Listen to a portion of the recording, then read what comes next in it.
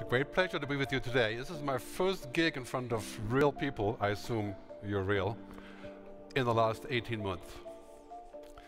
So my life has changed completely because of COVID, and I took it as a bit of a reset opportunity, I think, like most people did, to rethink what is happening around us and to rethink what I do. You know, it's interesting when you think about how people change. Uh, there's only two ways that humans change, really right? pain and love. Pain, we had pain. We have pain with COVID, right? Love, falling in love with new ideas. That's why we're here.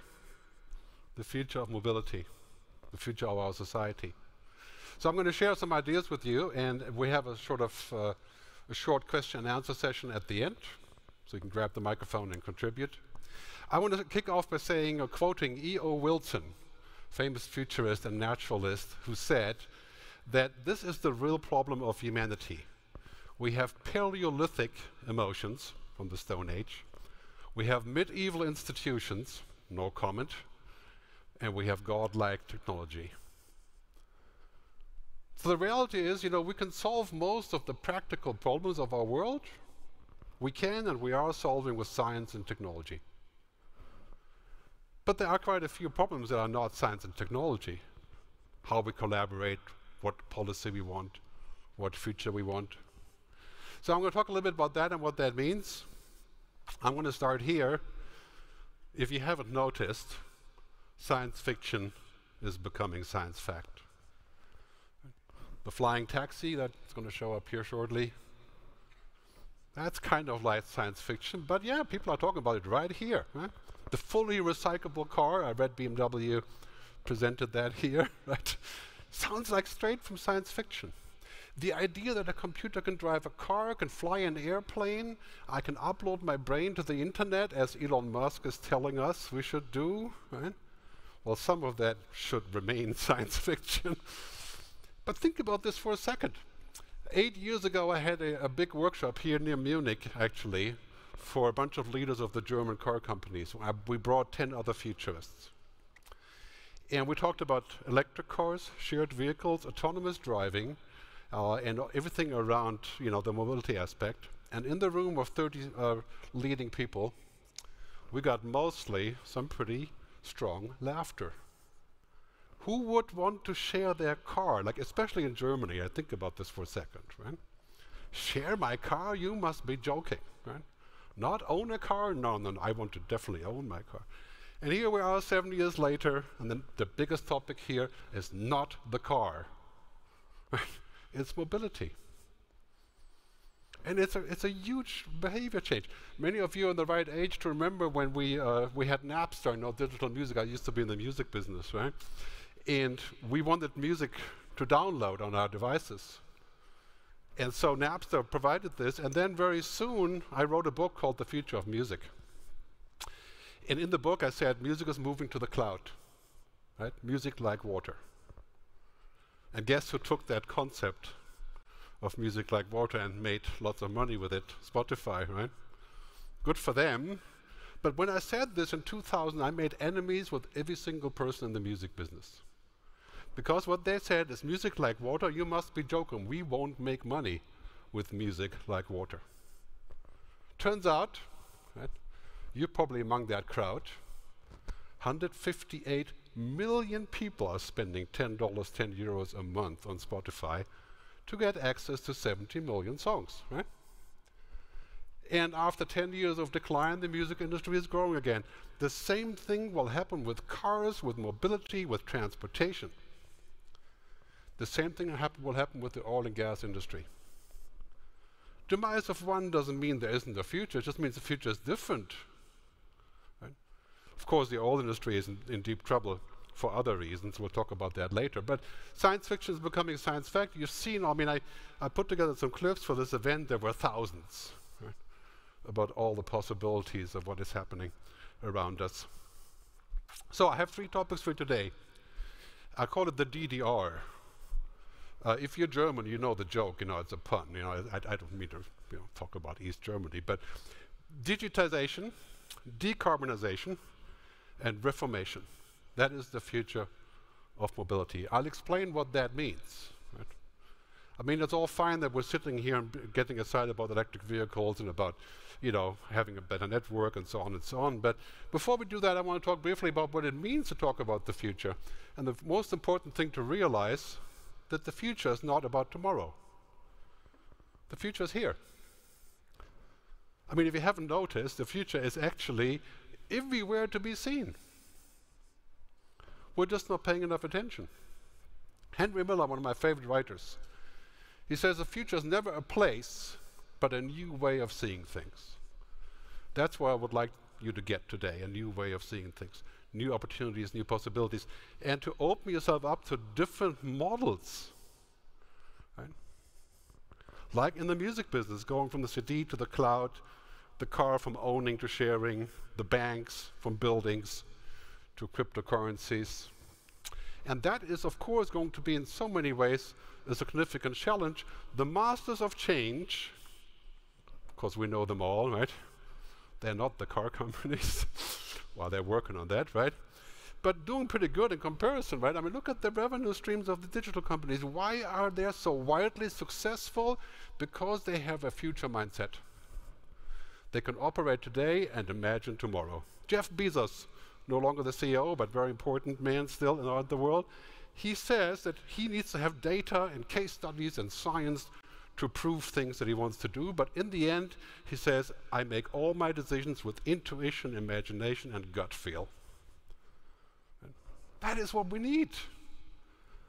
There's not going to be a case study showing you why it makes sense in the future to do X, Y, Z. It's a decision that you make. It is something that you think about, that you feel. The world, not just because of COVID, is not going back to normal. If you think that we're going back to normal, you are in deep trouble. We are not.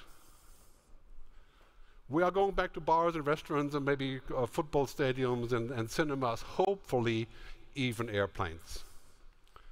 There are some things that we shouldn't go back to, like cruise ships. Different story. We're not going back to normal. And that is good because we're going to build back better, right? Now with COVID, we have a reboot. It's forcing us. Would you voluntarily sit in a room and wear a mask like people did in Japan a decade ago? Would you voluntarily comply with the state to tell you you can't do X, Y, Z? You wouldn't. Why are we doing it? Because we want a positive outcome. Right? COVID is existential, and so we're complying. Climate change, existential. Artificial intelligence, existential. Human genome editing, existential.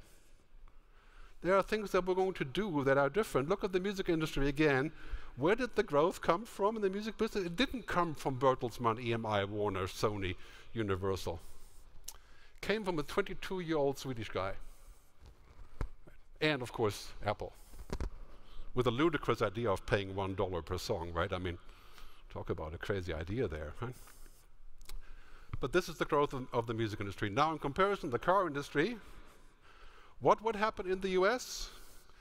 If autonomous vehicles were widely adopted, you can see right here, right? The boost in safety, real estate, congestion.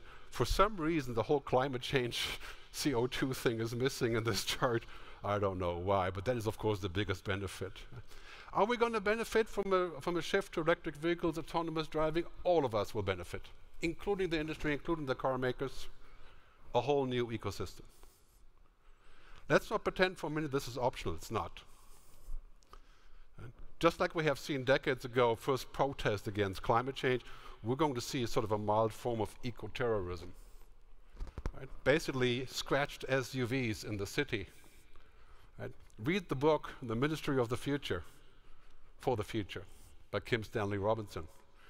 There is going to be a giant wave of pushback against not getting ready for a better future, not getting ready for a future that is good for our kids. We're going to see a reality unforming, forming, that will be composed of a bunch of new normals, and that is the challenge. It's fragmented. Uh, many of you are Spotify or Apple Music users, I'm sure. And what do you listen to? Well, we all listen to completely different things now, right? You like Goa trance music? That's your place, right? African chanting? All on Spotify. No more need for Elton John or Madonna, right? because he couldn't find anything else. And so what's happening now is that things that were considered are undoable, unthinkable, are the new normal. The carbon tax. I'm talking about carbon taxes, okay, way beyond the current definition. Carbon tax for flying, for airlines, that is coming for sure, especially here. I live in Zurich, so I'm safe, but I'm kidding, I will pay it anyway. Carbon tax for meat. I mean, I'm not vegetarian, but the future is vegetarian. Right? I mean, it's a strange thing to say, right? It's like there's just no way that we can keep eating like we have, right? Just as a comparison to driving, you know, that is basically already happening with Memphis Meats. Look at this chart, right? This chart shows you how many people have invested in what's called meat from the lab, right? Cultured meat. I know you're disgusted now, right? This is actually meat that's grown in the lab you know, cell by cell, but from the animal. They always say it's like no death involved, right? No cruelty involved. I tasted it about three years ago, and it tasted great. Only problem is $2,000 a pound. You know, it's kind of a problem. But this global meat consumption, right, this is a huge business. Who would have ever thought that we would consider this? Just like the car industry. We have to rethink, we have to think wider, we have to reinvent, we have to question our assumption. When I was in the music business, the record label told me, you know what, when music goes on the internet, nobody is going to pay, everything will be free. Turns out, not true. That's like, you know, I don't know if you've ever been to a therapist with your husband or your wife, but if you've been married for a long time, you know, you have assumptions. Like, you won't do this, you won't do that, you're like this, I'm like that, right? But turns out it's not true. We actually are capable of change assumptions are not always true forever. And so now people are both excited and deeply worried about the future. Rich research from Ipsos recently showed the most, uh, the most uh, future positive countries around the world, guess where they are? India, Indonesia, Chile, Brazil, Nigeria, Thailand, the lowest common denominator in Europe is that we all feel bad about the future. France is the leader. Does that surprise you? Uh, Europe, not France, right? We think the future will be bad because you know we have all these problems we can't agree. Yeah. But of course, the reality is completely different. That's what we get from paying attention to social media. Here's the most important thing about the future of mobility. As you see the future, so you act. As you act, so you become. It's called self-fulfilling prophecy. You heard that before, right? This was a, a, saying by Barbara Hubbard, who was a disciple of Buckminster Fuller, one of the most favorite future, uh, famous futurists ever lived. Basically, if you expect the future to suck, to be bad, it will be. Right? Because you are saying, well, basically it can't be done. You know, the thing is, of course, I was born in Germany. I, I have a Swiss passport now as well, and I lived in America for 20 years. In America, when you go to a meeting and talk about rebooting something from scratch, and say, well, that's really interesting, we should investigate it, right? In Europe, we're saying, oh, you know, but. We would have never sit here and think about the future of mobility. IAA would still just be cars, not mobility, if we weren't ready to think differently. Right? So I made a film called The Good Future. You should watch it. Because I really believe that the good future is possible. And that's why I'm here, because the good future has a lot to do with mobility, with smart cities, transportation, logistics, and everything else. So let me kick off in the first topic, digitization. I mean, if we're looking in this direction, it's a great quote here from Alvin Toffler, also famous, uh, favorite, uh, famous futurist who says it is the framework with technology that changes, not the picture. It's not the fact that I'm using an app or not using gas but using electricity. It's the framework, it's everything around it. This is the framework of mobility. Some of the things on here don't apply directly, but clearly big data, right? Cloud computing. Where is my pointer? Come back here the Internet of Things, the blockchain, voice control. Uh, it's a long list. I call these the game changers. And all that stuff is present here. And this will completely reboot what we think about mobility and how we can do it. I mean, we're making leaps in technology. Once we figure out how to make batteries that don't use rare earth, earth minerals, think about that. Once we cross that border, 5,000 kilometers per filling? I mean, some people say in 10 years we only fill it up once on the battery. We think about that. I mean, that sounds like science fiction, right? But related to this, are the mega shifts of society. And if you are a responsible player in mobility and transportation and cars, you have to think about the consequences. Automation, personalization, virtualization. And this is chapter three in my book. You can download for free this chapter in 10 languages at megashifts.digital. You should read it because it has a lot to do with mobility. But basically, it's a moving target. You take those two things together, the game changers, that's tech and science, and the game and the mega shifts, you have a perfect storm. And I mean this in a positive way, definitely in a positive way. The next 10 years will bring more change than the previous 100 years. This is not American euphemism. Think about this for a second. Yeah, kids, you have to think about that. 10 years, 20 years, exponential change? Not 1, 2, 3, 4, 5, 6, 7, 1, 2, 4, 8, 16. Right? We're leaping. And it didn't matter 10 years because it wasn't working. But now it is. Now we're leaping into the future in an entirely new way. And so when we look in this direction, it's really quite clear that one of the big things will be 5G and connectivity. No matter what you think about 5G and other issues around 5G, is going to drive these changes. Here's four bottom lines I like to talk about. Data is the new oil. This is an old hat. Right? I know you're going to laugh when you see this here. Virtual streamers, fellows. Right? But now data is also the new plutonium. Can be used as a weapon. That's not a good idea. We should make sure that data is used cleanly and not as a weapon. AI is the new electricity. Artificial intelligence makes the world go round. When you use Google Maps, when you use Gmail, when you use whatever you're using, there's some piece of AI there. I'll talk more about AI in a second. The cloud is the new office, the new living room. That can be quite lonely, I know. That's probably going to be more of a hybrid scenario. And virtual reality, mixed reality, augmented reality, that is exploding because of COVID, right? That's the new senses. My new eyes, my new ears. All of these things are really amazing, but also very scary. Because technology in many ways like a drug. You know, you all take drugs, we all take drugs of various sorts, whether it's beer or other alcohol or smoking or coffee or, yeah. And we don't make things illegal just because they could be dangerous, except for really dangerous things. we have to figure out how to deal with it. We can't make these things like AI illegal, right? I mean, we have to figure out how to make the best out of it. And that's the future that is awaiting for us. That is the future that we're going into at mind-boggling speed. You, you know, of course, the Vitruvian Man, Leonardo da Vinci, 1533, Italy. Big change in time called the Renaissance. Well, it was kicked off then. It took a couple hundred years, right? where it was no longer uh, all about, you know, the dogma, but about humans. And now we're having a, a new renaissance. We're surrounded by technology, and I call this the Neoluvian man. Well, Vitruvian, Neoluvian, if you follow my drift, right?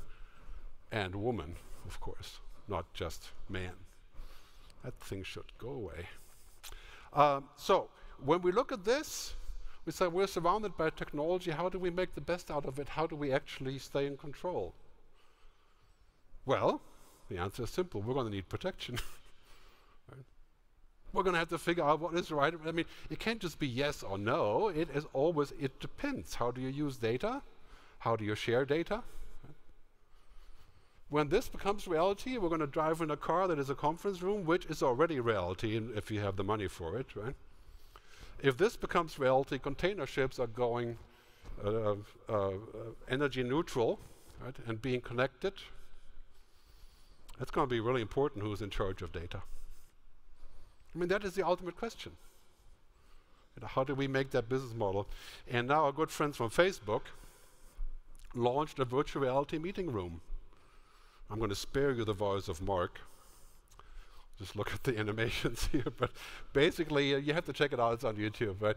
A virtual reality room, Facebook, right? Where he says that that is him, right? Uh, we can actually hear each other in that room in, in a spatial relationship. Imagine when that becomes possible. No more just boring Zoom. Even Zoom has gotten pretty cool as well. right? I mean, the world is changing around us in mind-boggling paces. And here's the key message: many of the stations that we've known will switch off. Okay? That is just like old television. You can't get analog television in most countries anymore. Africa, yeah. Over the air, right? It's digital. I mean, this is what's happening. We're moving to this world. Get used to it. Fragmented, fast, chaotic. Right? The next 10 years will bring considerable change, a sort of new human renaissance, which I'll talk about, but also a huge amount of chaos. Chaos and confusion. Is that good? Yes, I think it is. Every reset has chaos and confusion. We have to start somewhere by saying, well, it, isn't working. What we did before COVID wasn't working. We knew the pandemic was coming. Right? Bill Gates told us, and Larry Brilliant told us, and hundreds of we said, okay, well, it doesn't matter, we don't want to spend the money. We knew climate change is, is real. Car, car companies said, well, you know what, it's nice, we have to have a powerful car for people like me. Right? So we can get our margins. Business as usual is dead. And again, that is a good message. I mean, obviously, the people in this show have understood this. Otherwise, it wouldn't be called IAA mobility. it's like, yeah, business as usual is dead. You are lucky in the car industry that the business is still going on as it is. In five years, not a single person will buy a regular engine car. Well, that exception being, of course, in some countries where they're not available, right? So it's not all that black or white, but we're going to change dramatically fast. And that's going to be all the stuff that was science fiction, like you know the, the flying car, 450,000 for this Joby, and of course all the shared transportations. You've seen all that stuff; it's coming. But here's the bottom line: when we have digital transformation, we also have societal transformation, and then we have human transformation. Make no mistake about this. When we change technology, when we change things that are so exponential, we're changing the way society works, and you are responsible for the changes you create. Years ago, technology companies said, you know what, uh, if people want to use our software to build uh, authoritarian states with our face recognition software, then, you know, there's not much we can do. Right? Now, the CEO of Salesforce says, we're not going to sell our Salesforce software to companies who are in the business of bad things. What hard to define what exactly that is, right? But we have to applaud him for trying it. It's a social transformation that's happening all around us. There, this is what's happening now. Now we have climate change, and now we have human change. The externalities of climate change we know. The externalities of human change, manipulation, bias, uncertainty, fear, erosion of democracy. We're going to need to think about this a little bit more. Would you trust Facebook or Google with your personal DNA data?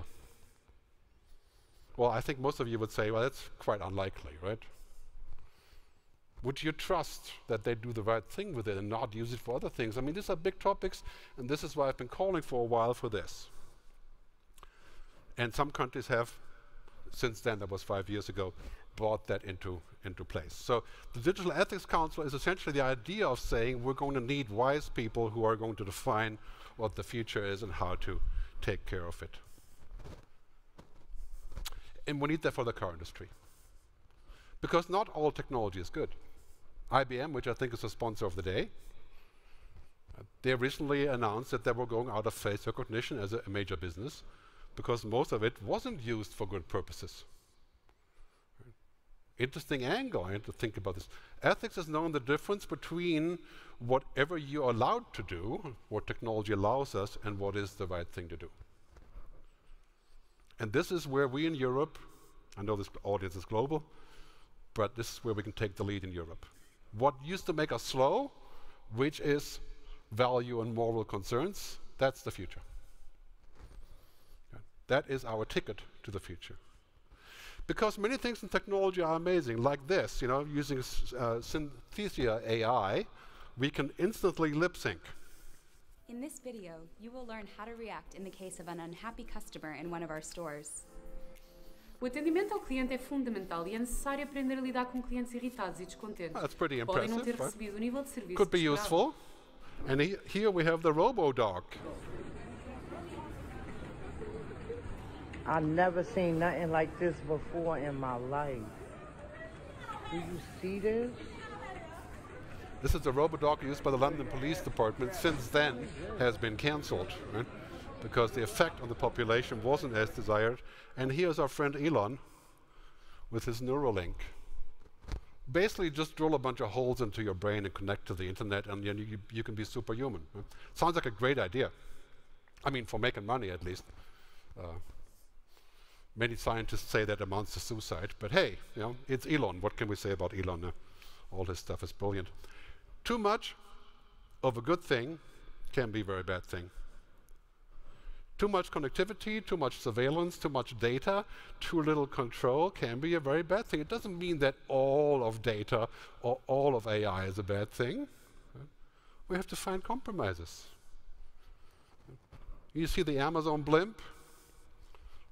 This is a, uh, of course, a mock-up, right? it's not real, but delivering from the cloud uh, with the drones dropping. I can see that already happening over Cologne, and then people would just take their, you know, guns and shoot it down. And here we have the Tesla bot that uh, the brilliant Elon has announced. That is definitely science fiction. right? So, as we're moving into this future of where everything is possible, here's the key question. The key answer to that is for me everything should be as connected and smart as necessary, but not more. Maybe that's a typical German answer, I don't know.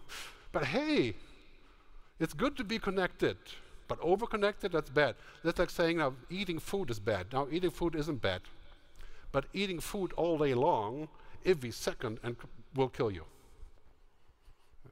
So we have to find out what the compromise is, where we're going, and that has a lot to do with mobility because mobility is about data right, and connectivity. And as we look at the future of AI, this is one of the most misunderstood topics in the world because we're watching too many movies from Hollywood and Netflix about what allegedly AI can be doing. you want to know about the future? Don't watch those movies. They're entertainment. They sell because they create fear. And here's the thing that's happening with AI, very important. Initially, we have what I call IA, intelligent assistance. That's 98% of what we have today. That's all the stuff we talk about here is IA. These machines are not intelligent like humans.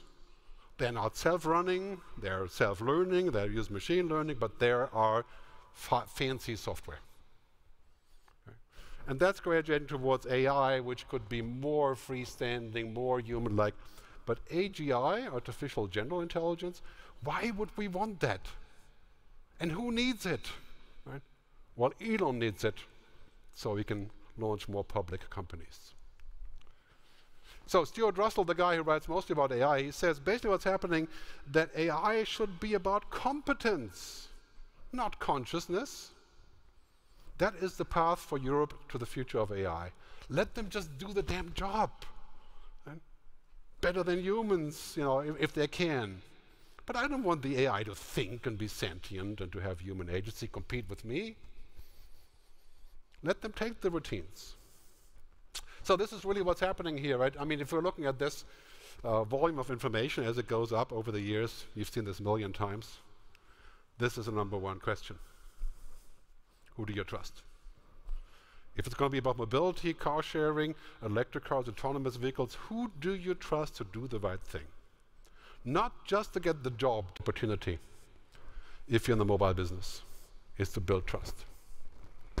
The companies that lose trust will lose everything. Facebook is on the best possible path to this, in my view. And this is what's happening, of course, with regulation. It's all about trust and how we do this together. A short excursion as to what digitization does to humans.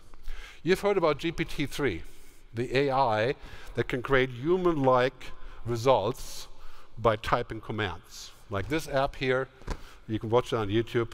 It's called Learn from Anyone. And learn from anyone is basically you go to a box and you type in a question for Elon Musk or Peter Drucker or anybody else that, that you want to talk about, and it gives you an answer, a live answer. Right? It's basically a response bot, a learning bot. Right? But of course, any of you who are on this turf, they know what's happening. This system is going to a large depository of millions of possible answers. And it's picking the keywords in the most interesting way but it has no idea who Elon is. It has no idea what the question is. It has no idea who I am. It just puts it together in a really amazing way. Good story about this. A Swiss couple traveled to Rio, older Swiss couple.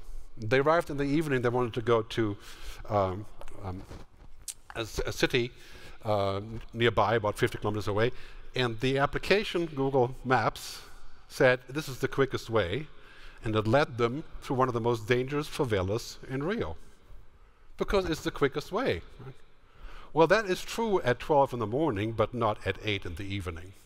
It is the most, the best way to get killed, to go there at 8 p.m. And they certainly were almost killed. What does it say about Google Maps? Well, it's you know, we need a few upgrades there, but really what's happening is that AI doesn't know the context. It doesn't know why it's important. It doesn't care. It's efficient. Now, Google Maps can learn this, right? But think about the implications of this. Think about what it means for us. If you have kids, you got to think about this. This is the pyramid of work of the future. And as AI is taken over all of routines and logic, this part, right? Intellectual knowledge, AI can have that. Data information, that's a commodity. Your job isn't data and information. You're not a robot. You're not a machine. You're not data. Algorithms are different. Humans are not algorithms. So here's our job in the future. That's how you're going to save your career and maybe your company by having tacit knowledge, deeper knowledge, wisdom, understanding. That's what our kids have to learn in school. That's why they need to learn more than just science. Humanities. I mean, I grew up, I was a musician and producer. I went in the tech business, so I, I'm always drawing from that background. It's really important that we head in this direction. As machine learning is exploding, big topic here at this conference, on the flip side, we have this. We have the things that make us human. Try for a machine to do those things. To have empathy for a machine, come on, yeah? Machine doesn't exist. Values, consciousness, this is our future. Awesome humans on top of amazing technology. And that is so true for the car industry. There may be less wor people working in the car industry because of decarbonization. Yes. But if you take a look at the music industry, again, the comparison, you have about 200,000 people who are now working on Spotify-related offerings, data feeds, tour planning. 21 million people work on social media. That didn't exist 10 years ago. I guarantee you 75% of all the jobs in the car industry or mobility industry in 10 years haven't even been invented yet. Many, many new possibilities that come from this collaboration. So, about decarbonization. We're toast. We have 10 years to address urgent things. I mean, the, the stats are pretty clear on this. It, it will actually be happen quicker, quicker than we think, right? Uh, we used to think of that as a 20, 30 year time frame. Now it's 10 years. Right? We are now at a point where the biomass of what we have created, asphalt, concrete, is bigger than the biomass of the earth. All plant life and animals. We have created more stuff than, the, than the earth has before. This Google Labs shows you what we have done, Google Time Lapse. You can watch it on YouTube. It shows you all the things that we have done right? for progress. And I'm with progress. I'm solidly behind the idea of progressing. But COVID 19 was a test run for climate change. Right? Why was it a test run? Because COVID gave us a lot of pain and we reacted, and now we have to react even more to get everybody vaccinated. and now climate change is going to force us to react without mercy on what we have thought about. Frivolous flying, plenty of that that I used to do. Right? Things that we can afford because nobody's looking. That's going to change. And that will unfold new possibilities, new things that we have. Pain and love, right? This is the pyramid of change the next 10 years, everything that you know will be shaken up. And I maintain it's 95% opportunity, especially for Europe, as we're gearing up with responses for this. I mean, looking at the stats, everybody is talking about decarbonizing oil companies. Electric cars are reaching parity. I mean, I'm preaching to the choir here, right? The numbers are there. But again, let me remind you of this. We will not get there if we keep on going with business as usual. Don't be like the record labels who said for a long time, we are not going to support the internet because it changes what we can do and how we can control things. And who is more important than the record labels now? The tech companies. They own the business. Take a good lesson from this. So green companies' share prices are exploding. I mean, this is obviously happening everywhere. ESG is exploding, environmental, sustainable governmental investing. And yes, in many ways it's a fig leaf, right? You say, I do sustainable investing, I'm clear, right? You're not. It's a good start, though. Bottom line on this really is decarbonization is not a degrowth idea. It's not that we're going to have to stop everything that we're doing. We have to stop certain things, like, for example, cruise ships, possibly. It is the biggest opportunity of humanity in the next decade. Decade, not 20 years. Right? It's right here, right now, something that we absolutely can do. And we have to focus on a holistic approach. This is what I like about this event. Right? This is an ecosystem. It's everything put together. It's all the things that we are that we like, that we're looking at coming together, because now we have this hype curve that you see many times from Forrester, right? I'll play it again because it's pretty impressive actually. Uh, if you're looking at the hype curve, the red dots here, the red dots are the next uh, zero to two years. that means now. I mean, it's amazing how many things are happening now. The orange one is two to five years, and five to ten years is the blue one, and the black one is more than 10 years, like fuel cell stationary power. Right? Imagine how many of those things are happening right here, right now, in this hotspot. Consider yourself lucky. So here's a question I have for you when we're looking at this, the future of mobility. I think we will have all the tools, all the techs, all the science, all the money, but do we have the telos, the will, right? Old Greek word, a perfect fit. The will, the wisdom, the purpose. Do we make the right decisions? Do we go through the pain when we have to? Do we fall in love when we can? Of course, this is a question of policy, of government, of everything else. Right? I'm going to wrap up with Reformation. I'm not talking about Martin Luther here or any of those things, right? I'm talking about, well, a better word is really transformation, but I didn't want to use that word because that's kind of World Economic Forum talk, right? Here's our good friend um, Milton Friedman, economist who influenced 35 years of thinking about the future. Primarily, businesses are in the business of making money. Full stop the shareholder economy. Now, this worked fine for a long time. Well, kind of fine, at least for most of us. But it's utterly broken now. This kind of way of thinking of the future will lead to total disaster. That's why I think we need reformation, the art of making an improvement, changing behavior, changing the structure. That that's what we're doing right now. COVID-19 is causing us to say we need to change this. Not just what we do with healthcare or vaccines, but generally speaking. And so a new doctrine is emerging. I call this people, planet, purpose, and prosperity. You've heard about people, planet, profit before. That's been around for 30 years. I put in purpose because purpose is really important. That is the question of why we're doing something and who is doing it. Why are we interested in mobility as a service? Why are we building new kinds of engines? Why? Well, we're doing this because we want to uh, achieve a collective good, right? not just make jobs. I mean, interesting to say, you know, the oil industry makes many jobs. Right? Facebook has many jobs. Sometimes it's interesting to see that the companies that do the worst things for the planet, like Facebook, make the most money. Facebook makes $110 million profit per day. Right? What are they contributing to our future? Well, I'll leave that hanging in the room there. Right?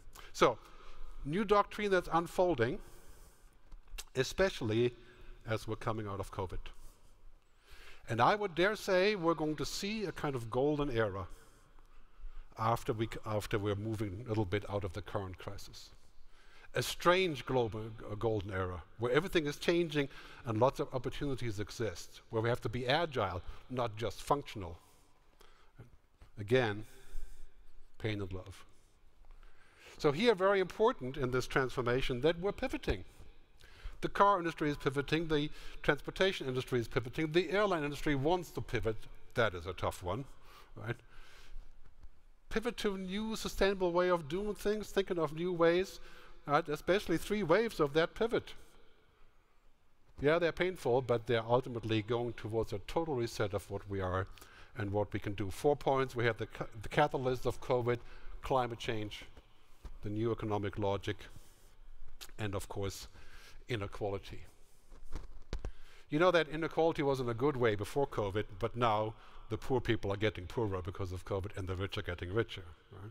That's been the result of the crisis. And that's a huge topic when we go into that future. So as we're looking at this, people, planet, purpose, prosperity, I said in the beginning, the future is not the destination, but a new way of seeing things. Lego sees it new. They're, they're rebuilding how they do their bricks with sustainable plastic. Right? From scratch. I mean, this is much more expensive, right? Swiss Re, a Swiss insurance company, has said they're going to stop supporting insurance claims by oil companies and coal, coal companies primarily. They're going to stop supporting business models like this. Of course, you know what's happening with Shell, and you know what's happening with the vaccine debate. That is kind of breaking our copyright patent concept, right? You've seen what's happening with corporate tax. We're going to see a 50% global tax on all uh, corporations coming up. That was discussed for 50 years. That's finally happening, and of course, the Green Deal. You may think whatever you want about the European Commission, but they are an engine of that change. This is a tough job, thankless job. And it's really something where we say, okay, this is really emerging here right now. There's even a stock market now for long-term thinking called the LTSE in, in San Francisco. The first two companies went public there. For companies who are concerned with the, with the quadruple bottom line. So take this as a guideline for the future of mobility and the future of what we can do there. If I could distill it down into one concept that we are pursuing in New Zealand, it is simple and it is this kindness. Jacinda Ardern, right? The most interesting figure to emerge in the COVID crisis. She says the principle of government is kindness, right? I mean, think about that. What if we said that here in Germany? That would be quite something. Right? A whole new way of looking at the future. We do. We need a new capitalism. We need a capitalism that's more fair, more equitable, more sustainable capitalism. Uh, capitalism that values not just all shareholders, but also all stakeholders. And if we can put those things together, I think it can be a new capitalism, be very exciting for everybody. Yeah, Mark Benioff, the CEO of Salesforce, right, talks about a new capitalism. I mean, these are large stories that are going to impact our choices. We're moving in this world from ecosystems, and God knows mobility in the car industry, there were the biggest egos around. Right? It's basically my way or the highway, or my way is the highway. Right? And now, it's this. Turns out we have to collaborate to make this work. That's why we're here all the OEMs, all the manufacturers, all of the different ideas, all the researchers, we have to work together to create a new future that's going to be an ecosystem. A mobility as a service is going from ego to eco. And I don't mean that in the green sense, I mean in the overall sense, right? Collaborating, working together to achieve new things, right? And this is clearly going to be the way forward into a future that looks like this here on the very left, right? a totally new ecosystem of mobility. And that ecosystem, I predict, will make more money than what we have now, just like the music industry, after 20 years of decline, is going to stand to make 50 billion a year from streaming. Just get out of the way, right? or be with us. That's been the formula in music that has basically been successful. So let me wrap up with what we do now and how to go forward from here. I want to take you to take this away from today. The future is better than we think. The future isn't dark. The future isn't bad. People aren't evil. When we look around, we could come to that conclusion when we look around when we watch the news. Right? Everything is going to hell, but it's not. We're actually solving so many things, and we have solved so many things, and now we can solve more. Right? We have the power to do this when we do three things: ethical digitization decisive and dramatic decarbonization under any and all circumstances. No mercy on what that means. That is what's coming. Societal and economic reformation as how do we achieve that and how we collaborate. You have to understand, of course, the first part, digitization, that's obvious, right? That's why we're here. I mean, you know, do you know anybody who's not digitizing, right? Not transforming? No. Decarbonization, that's a tough one. We're talking about $35 trillion worth of lost assets for the oil industry. That's kind of a hefty amount, right? It's tough, but it'll be widely beneficial in so many ways. And that's becoming obvious. The last one is the hardest one. This is our biggest challenge. How do we agree on what to do? That's also the purpose of this meeting. We can agree on what is important and what should be done first. So I would advise uh, you to follow these sort of six future principles that I've put together over the years. Exponential change in technology, human change. Holistic, circular, human flourishing, and of course also planetary flourishing, not just human. That's kind of the uh, six future principles I would like you to remember. And invest in your future mindset. I've talked about this for years, how important it is to actually listen to the future. 10% of your time should be spent by looking at things that don't yet exist.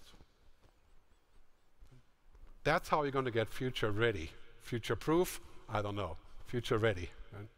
Doing those four things, investing in your future mindset.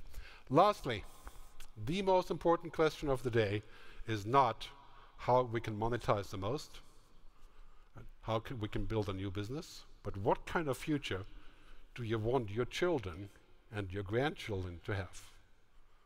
What kind of ancestor are you going to be? Are they going to say about you that you cared and that you made a better future?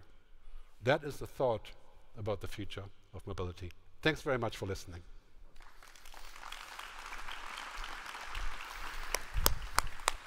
Oh, so much food for thought there. And I wish we had more time. So let me do this as a request. If you got a question, make it a quick question as much as you can. Give it a direct answer because we have about three or four minutes before our next speaker comes in. So, who's got a question? Quickly raise your hand, and whatever you do, do not touch the mic.